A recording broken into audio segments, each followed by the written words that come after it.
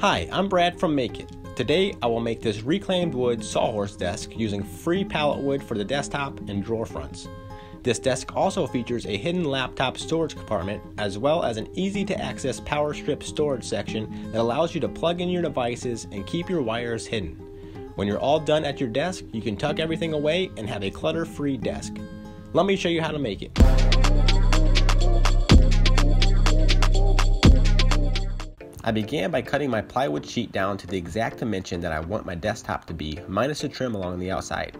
First thing to do was to measure out where the hidden compartment was to be located. Next was cutting and laying down where I wanted the pallet wood to be placed on the tabletop. I cut one row at a time. Once I had one row laid down, I took the row over to the table saw to straighten two edges and get the same width all the way down. I cut each row with a different width to switch things up a bit. I found this board with a hole in it, and I thought it would be perfect to use for the cover of the hidden power strip compartment in the back of the tabletop. This would also allow the cables to pass through the cover when closed, all while still tying into the rest of the desktop. Once I had everything cut out, I began to sand the boards down using 80 grit sandpaper before running them through the planer. I still want some of the unique texture of the pallet wood, so I'm just letting the sander do all the work and not pushing down too hard. I then ran the boards through the planer mainly to get everything down to the same thickness. Some of the boards I planed the top partially, some all the way, and some I just left sanded. It was really just based off what I thought looked good as I was planing. Once I had the right thickness, I marked a reference line on the planer for the rest of the boards. As you can see, there's a lot of character and surprises in this pallet wood. Next was to start on the hidden compartment storage. This is just a simple box that will be mounted to the underneath part of the desktop. There are two openings, one for the hidden storage and the other for the power strip. I glued everything up, nailed them together, and then added some screws on the bottom. I cut out two openings for the storage using a jigsaw and then mounted the storage to the desktop with some screws. The screws will be covered by pallet wood, so I'm not too concerned about screwing them in from the top.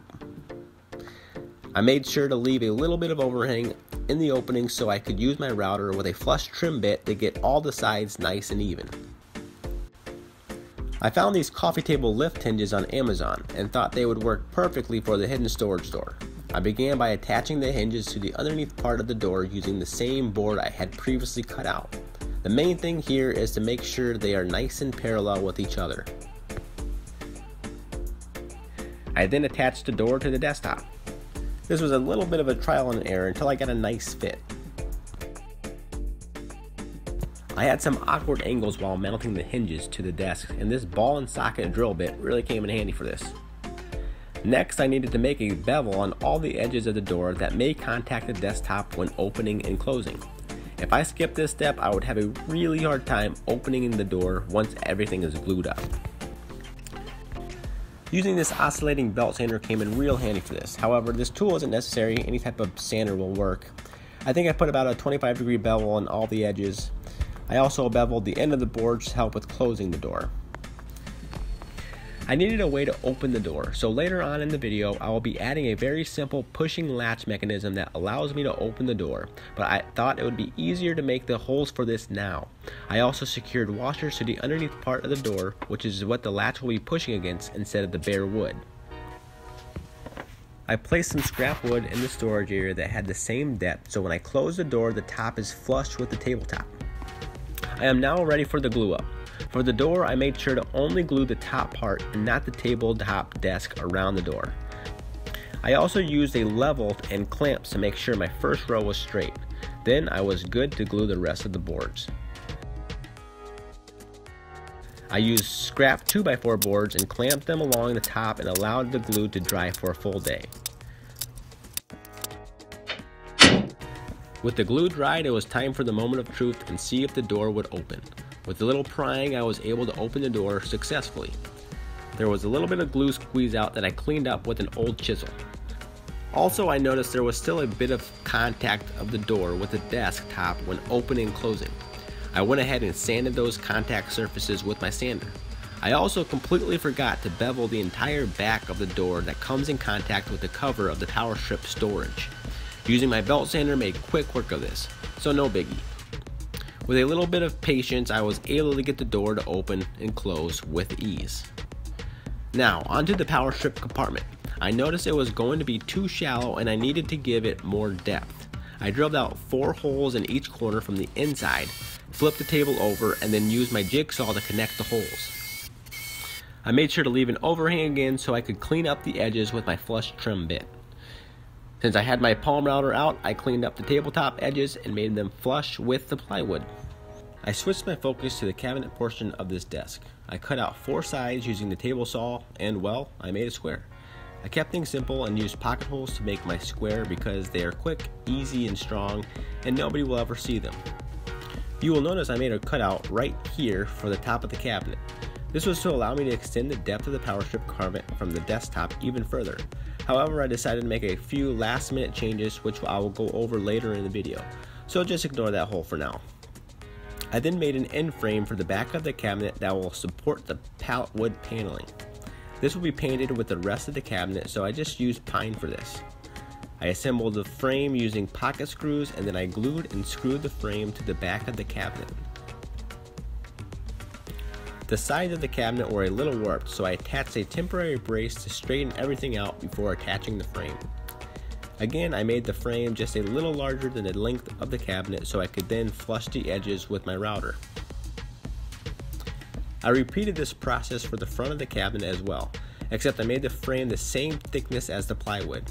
I did this for a couple reasons. It covers up the plywood end grain even though I will be painting this cabinet, I don't like how the paint looks on plywood exposed end grain. Also, I wanted to extend the cabinet length a little further. You could use edge banding here as well. I flipped the cabinet over and attached four plywood risers so the cabinet wasn't too close to the ground. I also didn't want these risers to be seen, which is why I spaced them away from the edges. I then drilled four holes in the center to attach shelf leveling feet these work great for getting your cabinet to the right height, and at the bottom is cloth so they won't scratch the floor. I made a 2 inch hole that will allow the power strip plug-in to fit through. Now onto the drawers. I was able to make the three drawers using a single sheet of 2x4 foot 3 quarter inch plywood. I ripped everything down using the table saw and then made my link cuts on the miter saw. For the front and back sides of the drawer that go between the sideboards, I used two scrap pieces from the same plywood. I set my stop block to the exact width I needed and then placed the two scrap pieces up against the stop block and made the rest of my front and back cuts. This is a much easier process than having to subtract the side plywood pieces that aren't actually 3 quarter inches and you get a very accurate cut. I took all my sides over to the table saw to cut out the groove for the bottom paneling. I cut all the sides at once and then slid the fence over just a hair until I got a nice fit for my panel. Having a test piece for this comes in handy because it takes all the guesswork out of it. Again, I'm using pocket screws for the drawers. Nothing fancy, but it gets the job done. For the drawer assembly, I glued the front drawer facing to the sides and then screwed it together, making sure the pocket holes are facing the outside. I like using clamps for this process so nothing will move on me.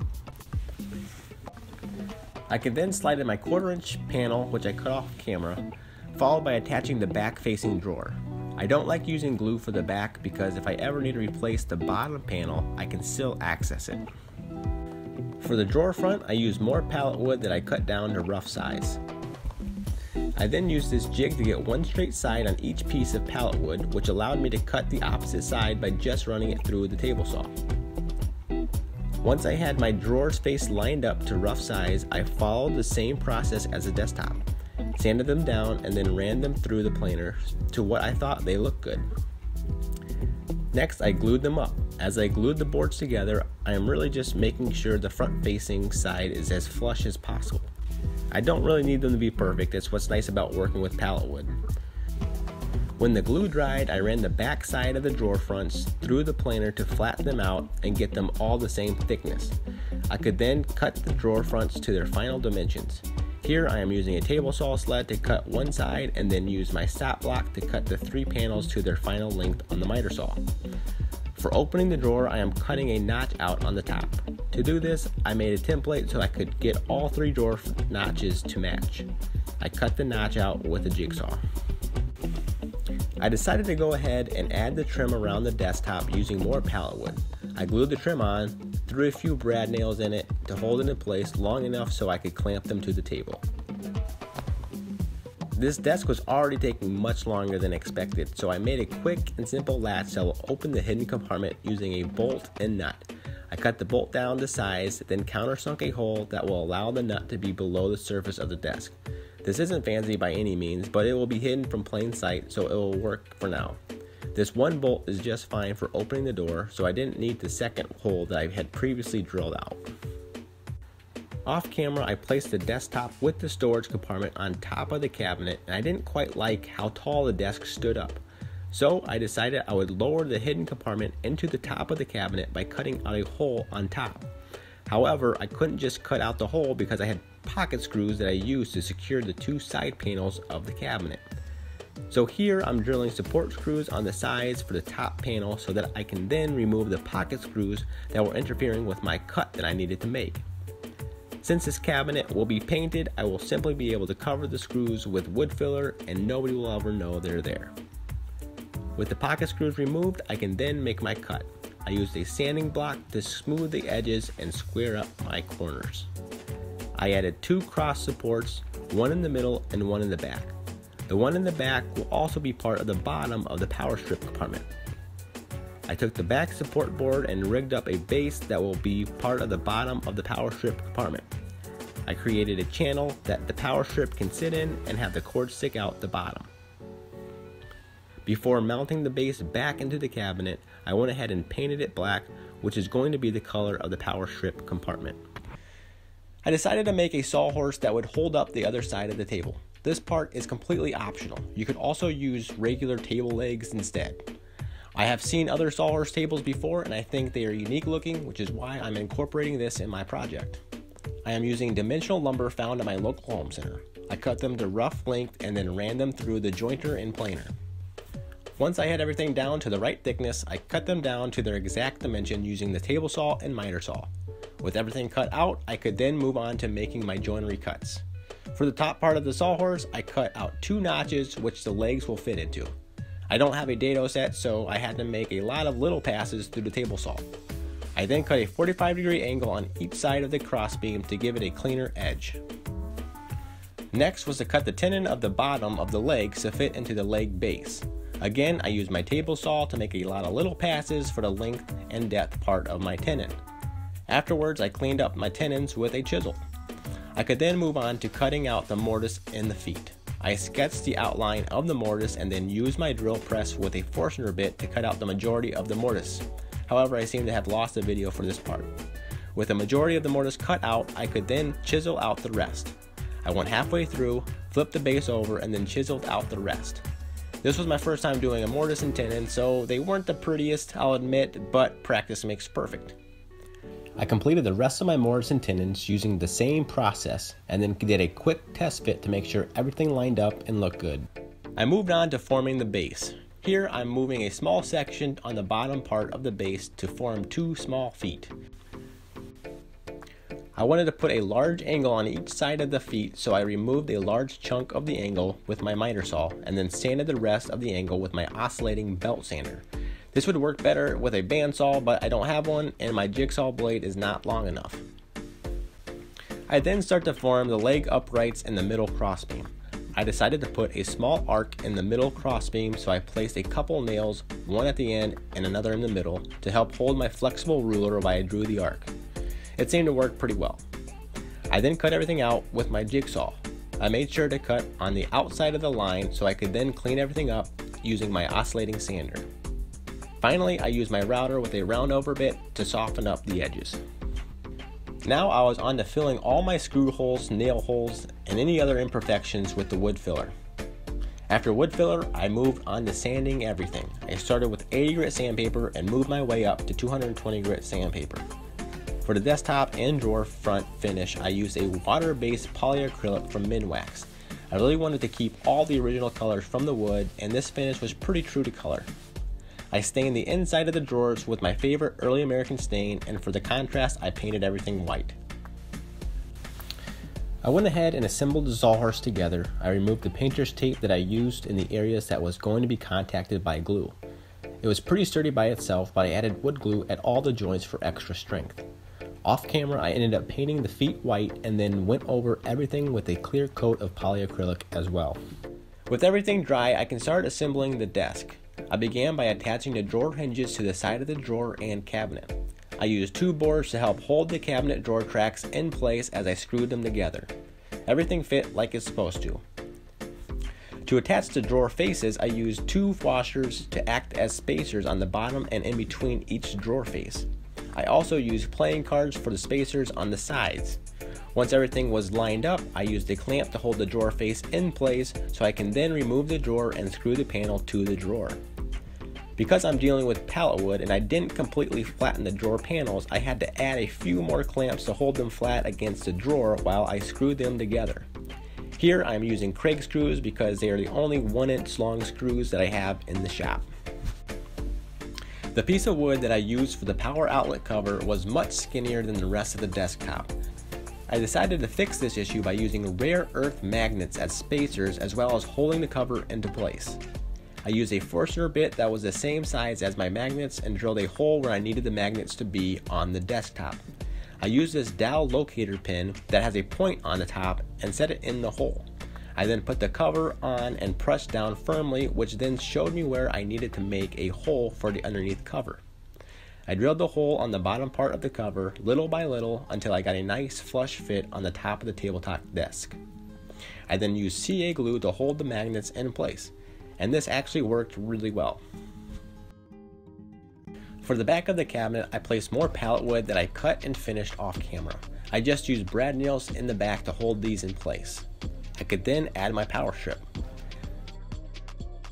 I added a scrap piece of 3 quarter inch plywood along with a quarter inch strip of plywood and mounted it on the top of the sawhorse.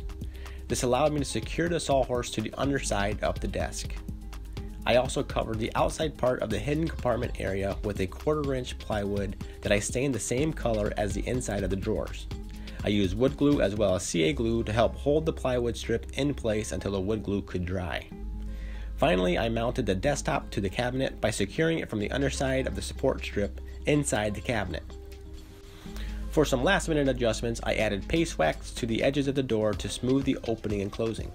I also added a bottom bevel using my router to the front of the door to make it easier to lift up. And that's it for this one. Thank you all for watching. I hope you really enjoyed it. For more information on the desk, check the video description. Also, if you have any comments, questions, or concerns, then go ahead and post them in the comment section below. If you like this video, then hit the thumbs up button. If you want to see more videos like this, then subscribe. Until then, I'll see you in the next one.